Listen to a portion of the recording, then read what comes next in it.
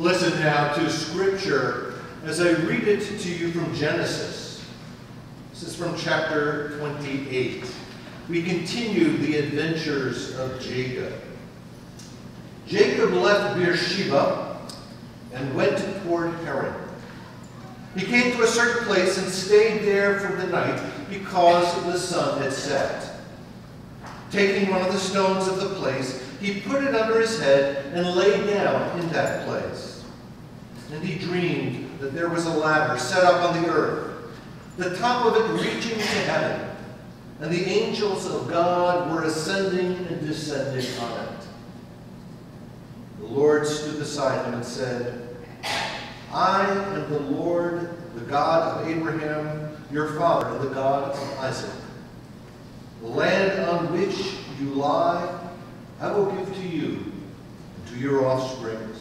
And your offspring shall be like the dust of the earth.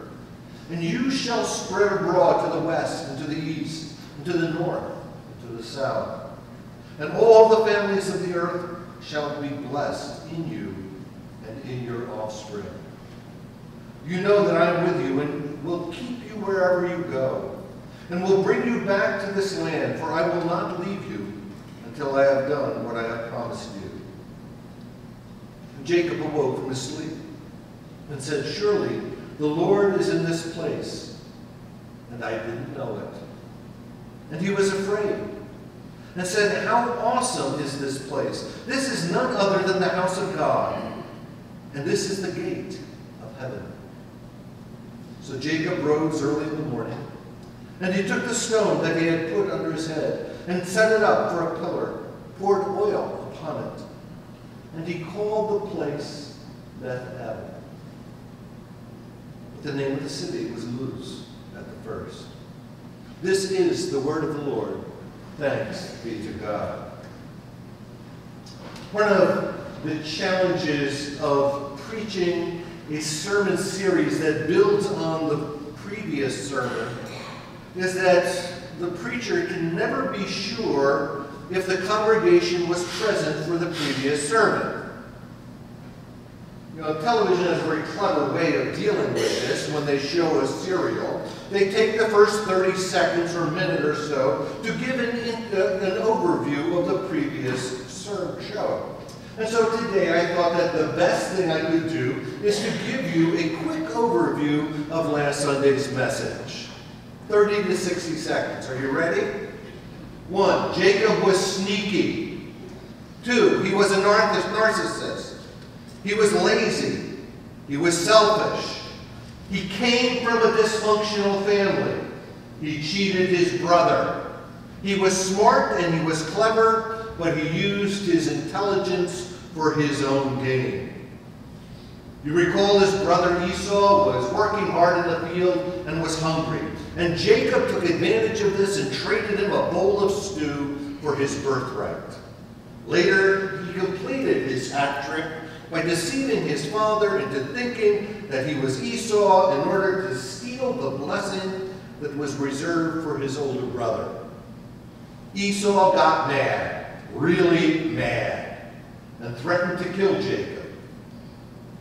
And this would not be the first time in the Bible that a brother threatened to kill a brother. You remember Cain and Abel. So Jacob ran away and he fled from his brother Esau. That's 67 seconds. This is the second sermon in a series on the life of Jacob. So far, one may wonder why Jacob is so important. Well, we've discovered in that first sermon that God uses scoundrels, but the question still remains, how? How does God change a lazy, ne'er-do-well con artist like Jacob into the father of a people, the patriarch of a nation? How? And so today we're going to look at one of the better known stories of the Old Testament. You remember when I was a child learning in vacation Bible school the song, maybe you did too, We Are Climbing Jacob's Ladder. Remember that one? Soldiers of the Cross, children of the cross. First, I want to look at that story, that beautiful story Second, I'm going to show how Jacob's dream is the first step in his spiritual development. And finally, I want to look at the very nature of spiritual growth. What does it mean to grow and mature spiritually? Because I think that's all that's a challenge for each and every one of us, no matter where we are in life. Let's look at the story itself. It begins with Jacob on the run. You know, he was a fugitive from justice. You know, he was running from his brother whom he had cheated and even humiliated. But should we be surprised? Know, Jacob was a coward, and cowards run away. But he was not merely running away from Esau, his brother, no. He was running away from his own true self. He was running away from a confrontation with the reality of who he was and what he did. So he was a moral and psychological coward also. Was trying to flee the reality of who he was. He was not going to take responsibility for his actions. No. He ran away. You know, there's an expression, you can run but you cannot hide. Jacob didn't know that expression. He thought you could run and hide. He believed that the truth would never come to light. But it would indeed that night. That night when he lay down to sleep. You see, when we lay down to sleep, our defenses begin to rest. And that's when even the most selfish person is vulnerable to the power of conscience. Remember, as a child waking up because I could not sleep one night. I went downstairs where my mother was reading, and I told her, Mom, I can't sleep. I'm having trouble sleeping. And she looked up at me, and then she asked the question. She said, Brent, what did you do wrong? I wondered how she knew. It was then that she taught me the word conscience. And I learned about the human conscience and how if you don't take care of things, it will get back at you. I can't remember what I did. But I remember losing sleep. And I remembered learning about the power of conscience that evening and the importance that it plays in our moral development. You know, many years later, when I, student, was a student at seminary, I would learn it was a Presbyterian principle. God is Lord of the conscience, that God speaks to us through our conscience. When our conscience is bothering us, we could be on the verge of, a, of an encounter with the divine. The conscience. It causes us to struggle mentally, psychologically, and spiritually. These struggles of the soul often have a way of mugging us at nighttime when we are asleep. They waken us at 2, 3 o'clock in the morning, and we just lay there wondering. We wake up horrified, frightened, bothered, worried, our mind going 100 miles an hour, and we can't get back to sleep. St. John of the Cross spoke of the dark night of the soul. And indeed, I suspect that interrupted sleep and disturbing dreams are part of the struggles of the human spirit. And so we read that Jacob laid his head down and slept.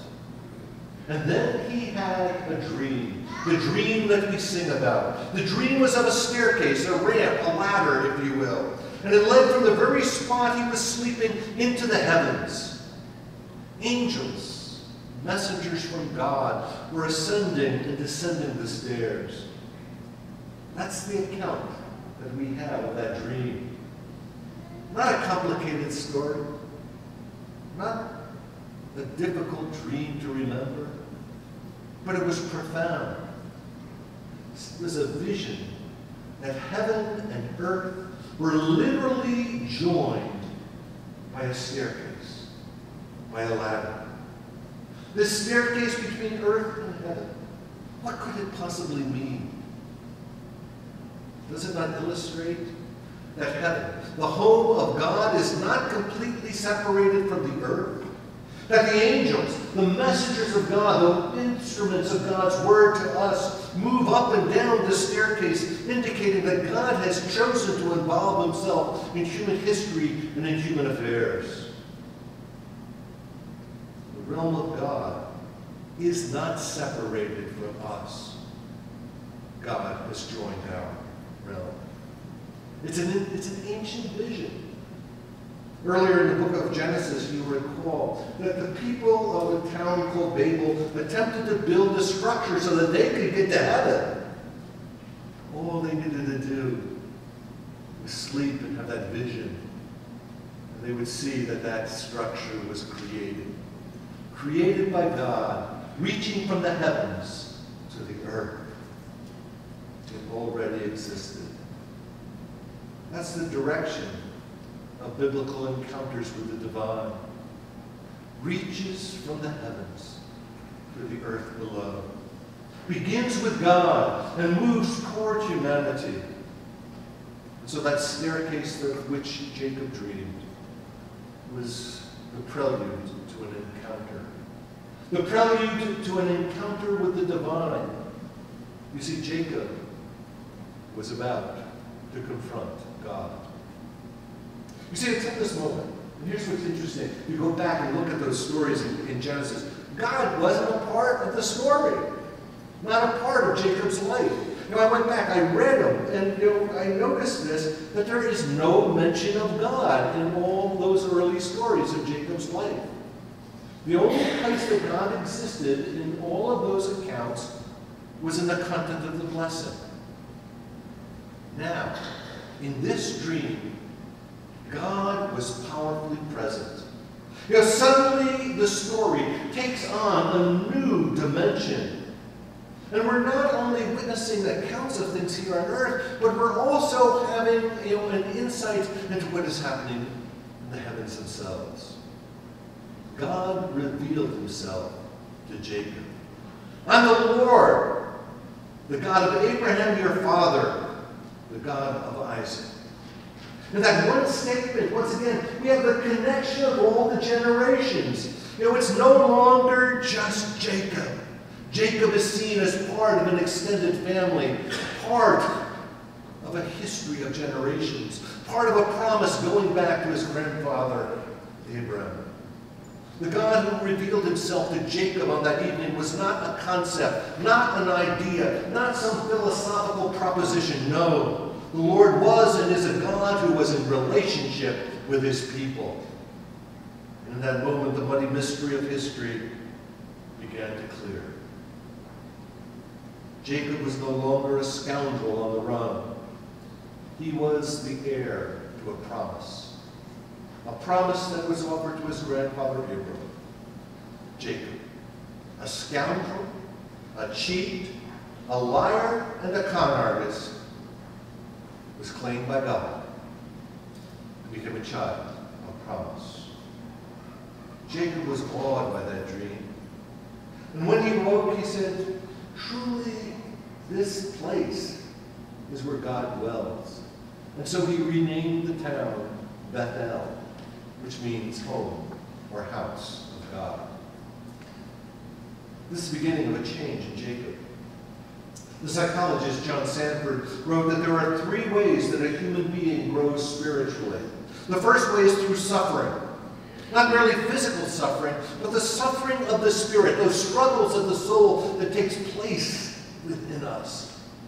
Those struggles that waken us at night.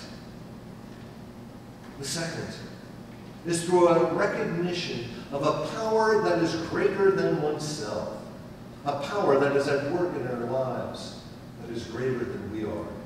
And the third is by coming to care for someone.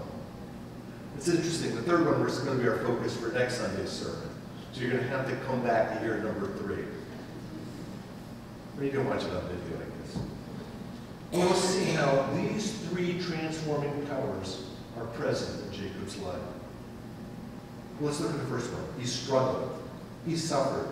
Jacob, you recall, was one who preferred the tents. He was a domestic. He was a child of comfort and luxury. He was a mama's boy, and mama took good care of him.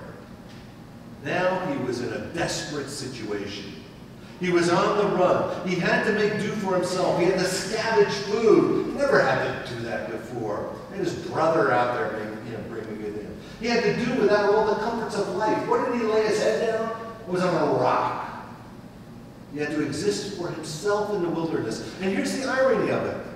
His brother Esau probably could do that quite well. For Jacob, this was a struggle for life itself.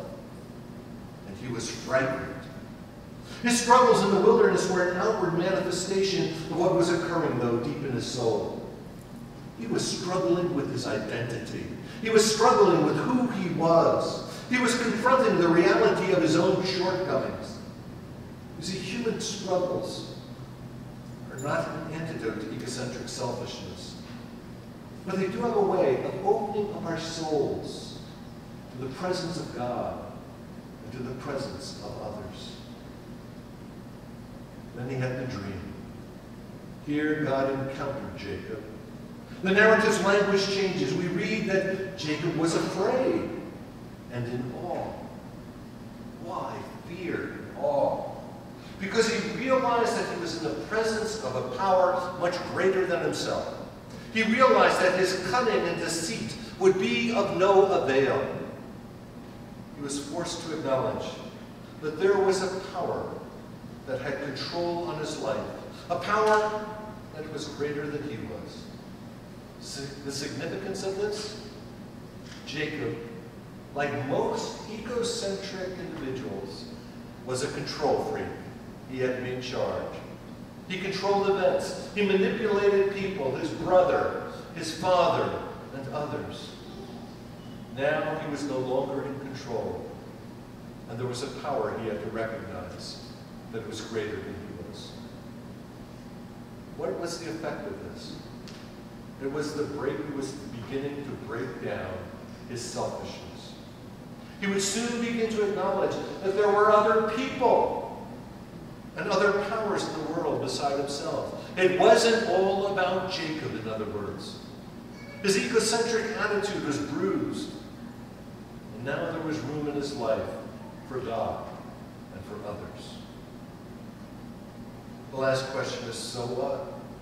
So what? I think this is an awesome story about a spiritual journey and the growth and the development of the human soul.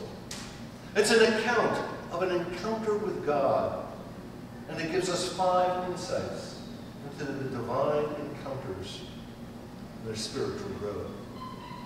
First, we learn an important lesson about human development and spiritual maturation.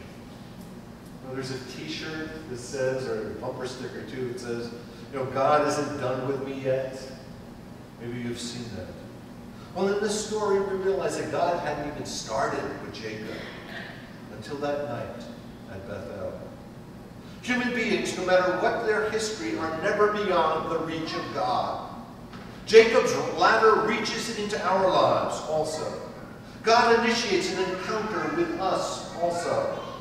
Human beings, egocentric, manipulating, and immature ones like Jacob, can grow and can indeed mature. As I mentioned last week, this is a message of hope, but it's also a warning to us about our own judgments. We shouldn't write off people so quickly.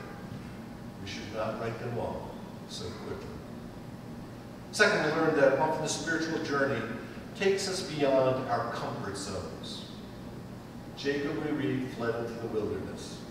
There he was without bed, without food, without all the other amenities that he enjoyed in life. And when he was there in the wilderness, the divine encounter began. It's archetypal. Think about wilderness. Jesus, you recall, sought the wilderness before he began his ministry because there he wrestled with who he was and his temptations with the devil. Some of the ancient religious communities would journey out into the desert, would even live there and exist there because they believed in the wilderness God would appear. There in the wilderness, they would be closer to God. Today, we associate wilderness with personal growth, be it scouts out on a camping trip and practicing survival skills, to the outward bound experience. And then Christian educators tell us that retreats, Christian camping, are important because so much more can be accomplished when participants are out of their zones of comfort and familiarity. You know, and I think for our generation today, that means no cell phones.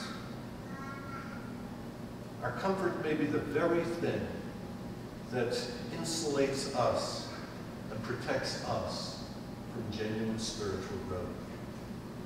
The third lesson we learn is one we long thought true, and that is the struggles of the soul are redemptive. That dark night of the soul can be a teacher and prepares the soul for transcendence and opens it to the future. Fourth, we learn that maturity and growth involves the recognition of a higher power. The recognition often takes place within a difficult and powerful encounter. And it can be both frightening and it can be awesome. Our spiritual struggles, our quest for identity, and our encounter with God have a way of breaking down our selfishness, our egotism, and our narcissism. All these things that govern our lives. And enable us to acknowledge not only the existence of others, but the needs of others and our need to relate to them. And most of all, to acknowledge the existence. Last, we discover the importance of awe. The Jewish mystic Abraham Heschel wrote, There's only one way to wisdom awe. Forget your sense of awe and let your conceit diminish your ability to revere, and the universe becomes merely a marketplace for you. The greatest insights happen to us in moments of awesome wonder. Awe is what precedes faith, and it is indeed at the root of faith.